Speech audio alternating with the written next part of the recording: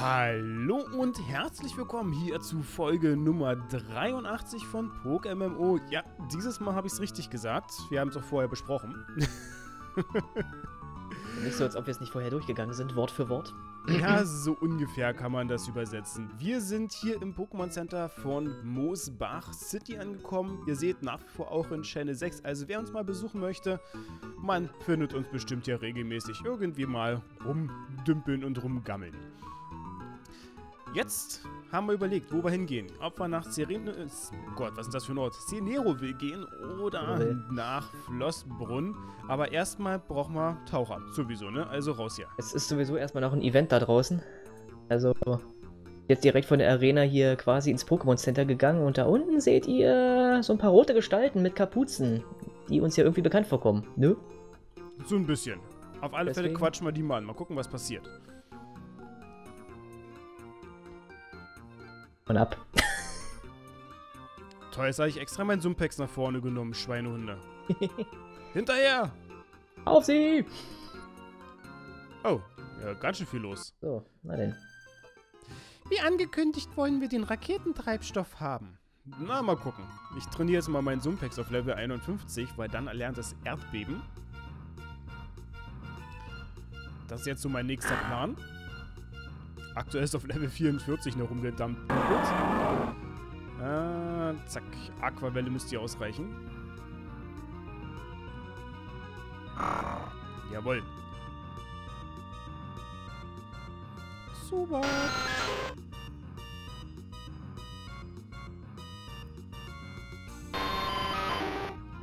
Oh. Doch alle dieselben. Mann, Hm. selbe Unterentwickelten. Kein Treibstoff mehr. Trink Red Bull. Ähm, heb bloß Sprite. nicht. Sprite. Sprit, genau.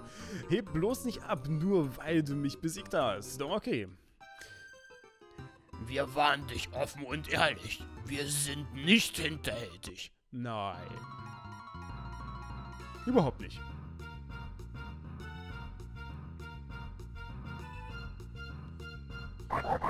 Oh, ein Kamaup. Offen und ehrlich, aus dem Mund von Team Magma. Hm.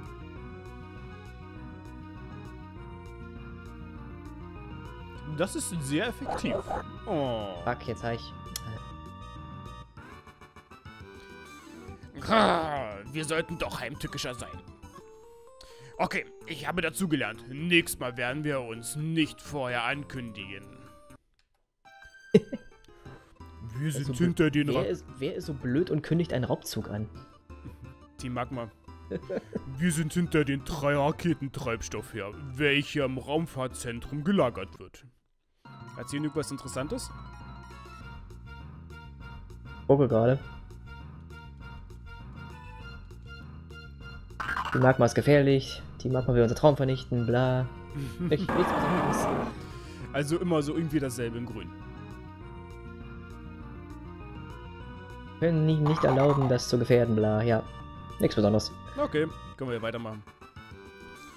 Bitte, kannst du mir etwas Treibstoff geben? Ein bisschen würde schon reichen.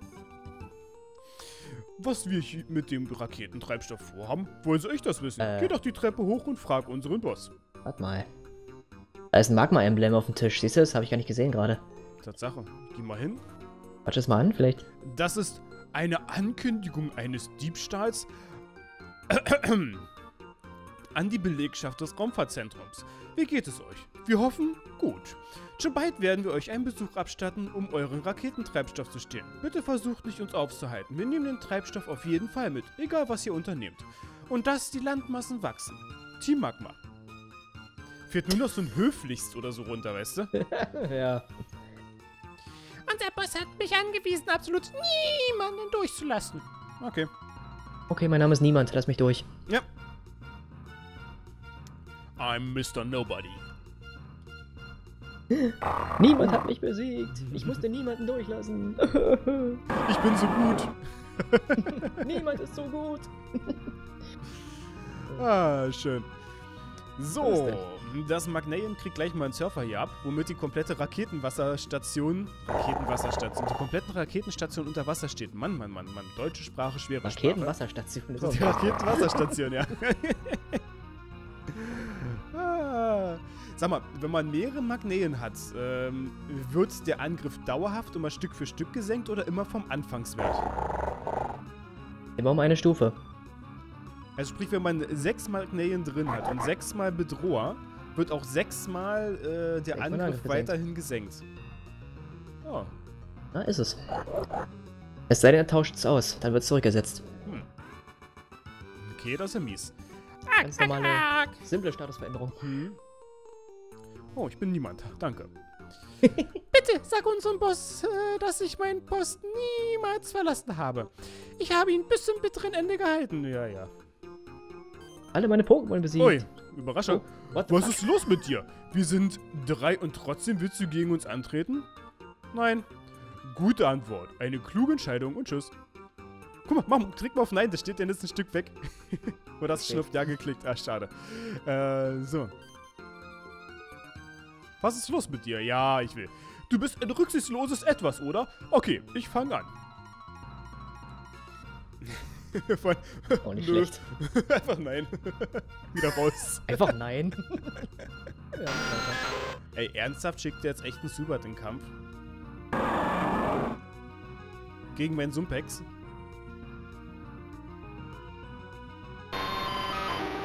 Ich bin enttäuscht. Ah, Jetzt kommt, jetzt kommt gleich der Doppelkampf mit Troy. Das wird cool. Ich habe verloren, ich nach. Sei nicht so erleichtert. Jetzt komme ich. Mach Platz, ich bin der Landvogt. Dabei liebe Grüße an den Karo 7. Nur mal so nebenbei. Spruch kommt doch von ihm, oder? Sein, aber es ist von Bane eher ein Spruch. Ich weiß es gar nicht mehr genau. Bane? Mach Platz, hier kommt der Landvogt. Ja, also haben beide gesagt. Ich habe keine Ahnung, wo es ursprünglich herkommt, ganz ehrlich. Hm.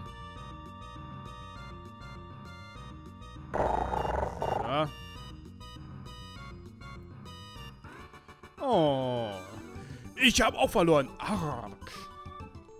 Ah, Ich wette, du sehnst dich nach einer Pause, aber die gönne ich dir nicht.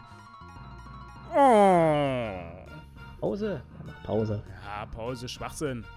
Mal ja weiter. Boah. Die haben aber auch schwache Pokémon. Ich meine, diesmal sind wir ex nicht wirklich überlevelt, oder? Ah, doch. Also es ist jetzt nicht so, dass wir wirklich gezieltes Training gemacht haben wie in Kampf, wo wir sagen, okay, wir haben immer hochgeballert. Trotzdem sind wir überlevelt.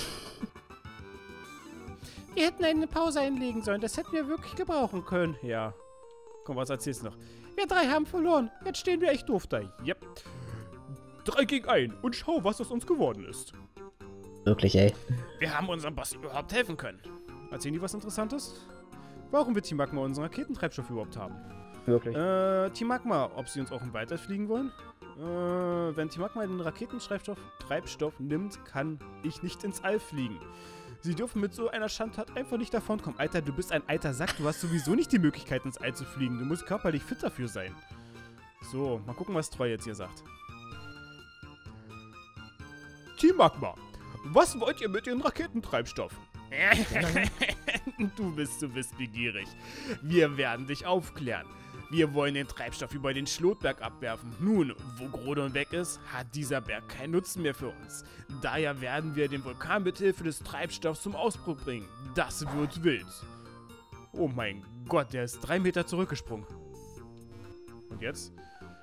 Astray, dann hilfst du mir. Dann lass uns als Team kämpfen. Bist du bereit? Nein, ich will alleine kämpfen. Dann Beeilung, Beeilung, Beeilung. Okay. Die Ja. warten auch so lange auf uns, ne? Mhm. Oh, wir umzingeln ihn hier Wir gerade. konnten den Vulkan nicht zum Ausbruch bringen. Wir konnten Grodon nicht kontrollieren. Unser Plan, die Landmassen zu vergrößern, ist vielleicht doch falsch. Das war echt der Hä? Kampf? Hä? Eigentlich sollte jetzt ein Kampf kommen. Ach, dann haben sie nicht implementiert. Oh Mann, komm schon. Wenn wir, Team, wenn wir Team Magma uns geirrt haben, dann liegt Team Magma mit seinem Plan, das Meer auszuweiten, vielleicht genauso falsch. Gut, wir werden den Treibstoff hier lassen. Es gibt wichtige Dinge, um die ich mich kümmern muss. Mann! Huh, das war vielleicht nervenzerreißend. Danke, Astray. Ich habe etwas, äh, das ich dir als Dankeschön geben möchte. Komm. Hm, Komm mich bitte besuchen. Ach so, ich lebe nicht in Metaros City, ich lebe hier auf dieser Insel. Mal gucken, was sie jetzt Liebe Entwickler von Poke MMO, falls ihr das hier gesehen habt, was mich wundern würde, weil das ist ja ein deutscher Channel, Bitte implementiert diesen Kampf. Das ist einer der geilsten Kämpfe überhaupt. Der muss rein, ganz ehrlich. Dann für diejenigen, die in der Zukunft hier machen. Ja. Ey, das ist echt Mann. enttäuschend gerade gewesen. Naja. Weil Da kämpfst du wirklich, du kämpfst im Doppelkampf mit Treu zusammen gegen die beiden Anführer da, gegen die Magmas. Einfach nur geil. Wo ist jetzt Treues Haus? War es hier oben? Nee, das war der Angler. Ganz, das war ganz unten irgendwo. Ich glaube hier links war's. Ich würde sagen hier. Okay, eins drüber. Tut mir leid. Tut mir leid, falsches Haus. Kolb Asrael. Ja, das ist mein Zuhause. Peinlich, wie kalt die Räume hier sind. Hier, nimm diese VM. Sie enthält Taucher. Ich habe das Poko meinem Pokémon schon beigebracht. Yay.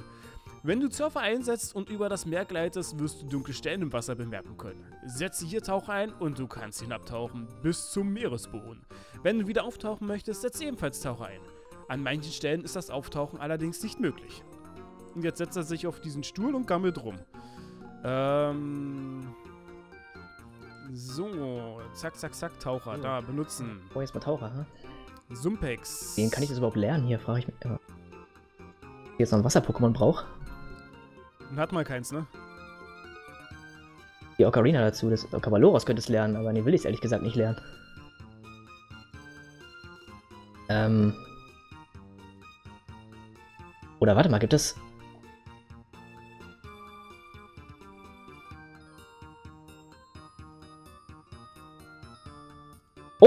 Es gibt gerade eine Taucher-Ocarina für 320. Kannst du dir natürlich leisten, ne? Die kaufe ich mir. Will gerade nicht Taucher lernen, so. So, kein Moment. Wieder da. Äh, Quatsch.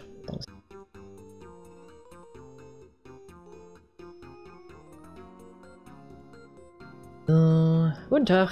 Passt für mich. Ja, dankeschön.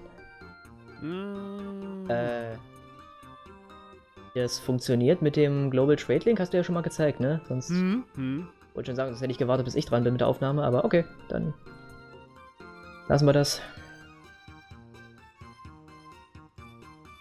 So, okay, das war's. Ich hab Taucher gelernt, ohne Taucher zu lernen. Haha, ich bin so gut. So, Mm, da. Warte mal, nee. Okay. So, ich werde mal ganz kurz im Pokémon Center die AP auffüllen. ja, gute Idee.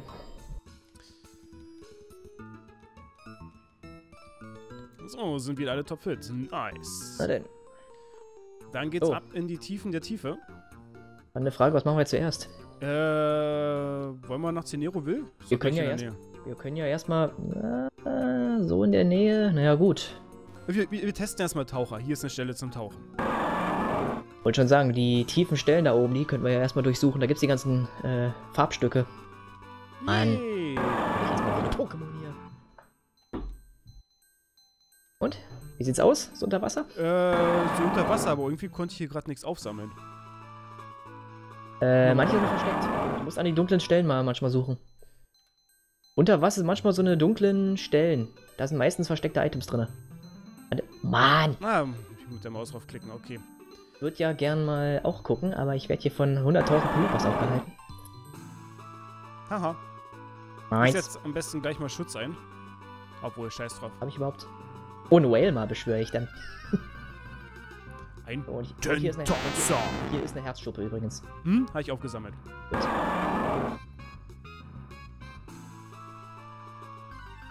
So, ich will tauchen. Peleppa.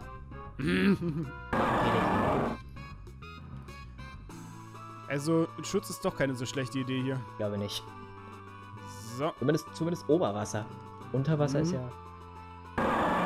Oh, ich mal lang schwimmen. Oh, warte mal. Ich tauche mal erstmal da oben. Da ist nämlich was. Hm, sehe ich auch gerade rechts oben, ja. Wir müssen noch über Wasser dahin schwimmen. Wir können nicht untertauchen und dann direkt dahin schwimmen. Nein, nein, nein, nein, das Das ist funktioniert nicht nicht. möglich. So. Anklicken, nein. Anklicken, nein. Gegengift. Gift. So, da Augenblick oben scheint nichts zu sein dann. nichts scheint nichts zu sein. Deswegen werde ich das jetzt mal überspringen. Wollen wir mal hier gucken, oben noch gucken. Guck mal, hier ist noch eine Stelle. What the fuck? Was? Drei Pilipper, zwei Wingul. Aber schön in Reihe und Glied. Alter Kack. Okay. Hier ist noch eine Herzschuppe und hier das können wir weitergehen. ähm, So, jetzt reicht's. Kurz, wo bist du? oh, hier ist noch was, okay. So. Calcium. Ja. So gerade. Oh, warte. Kommt da nichts Herzschuppe? mehr? Herzschuppe?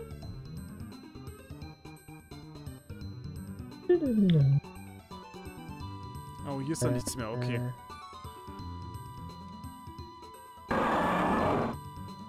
Aber was wir mal machen könnten, wir könnten ja mal nördlich von Moosbach gehen. Da war doch diese komische Ebbe- und Fluthöhle, oder?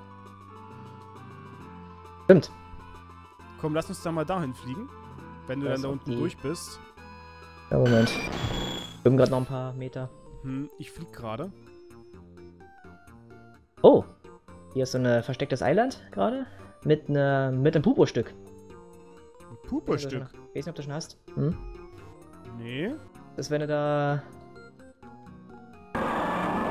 Wo habe ich denn da angefangen zu tauchen? Neben, dem, neben der Schatzsucherhöhle da. Ungefähr so ein bisschen. Bisschen weiter nördlich. Neben der Schatzsucherhöhle.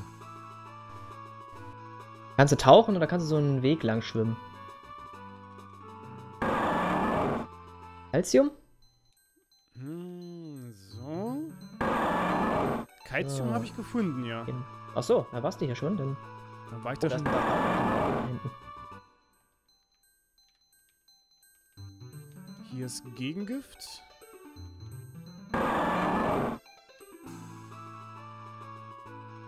Das, das andere Item da, was da noch ist. Tauch mal nicht auf. Ich glaube, ich weiß, wo du bist. So, hier lang. Ach, hier, da. Wo war's denn? Nach links. Nach links und da ist noch eine Stelle zum Auftauchen. Links. Wo ist eine Stelle zum Auftauchen? Ja, einfach den Weg folgen. Bis ganz nach hinten. Okay. Ganz oben links irgendwo, da ist noch eine Stelle zum Auftauchen. Also da, wo kein Item rumliegt, ne? Ja, genau. Da bin ich aufgetaucht und von dort bin ich nach äh, Moosbach geflogen. Äh, Äh, ja.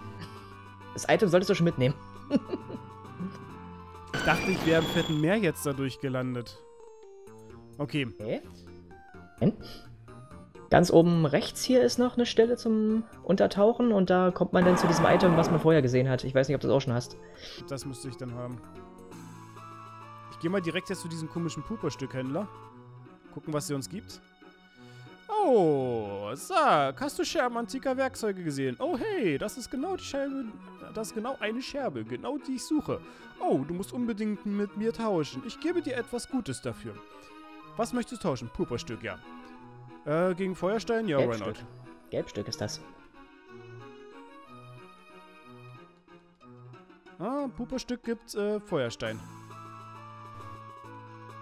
Gelbstein gibt's mit dem Donnerstein oder so. Ja, gibt's die Steine dann, vermutlich. Hm. Ups. Naja, dann ab nach Moosbach City. Gut. Hier erstmal schön abgesucht, das ist gut. So, und dann schlage ich vor, die Ebbe- und Fluthöhle machen wir in deiner Folge, oder? Ja, zumindest mal angucken, ob sie da ist. Eben. Dann, das Rätsel, ob die Ebbe- und Fluthöhle da ist, werdet ihr in der nächsten Folge bei Patty sehen, heißt Küst- am Küstenhöhle heißt das Ding. Küstenhöhle heißt das Ding, okay. Dann die Küstenhöhle werden wir dann am Mittwoch sehen. Ach komm. Nun, lass mich doch mal hier abmoderieren. Nein. Ah, okay. Tschüss. dann bis zum nächsten Mal. Schaltet ein. Ciao. Ciao.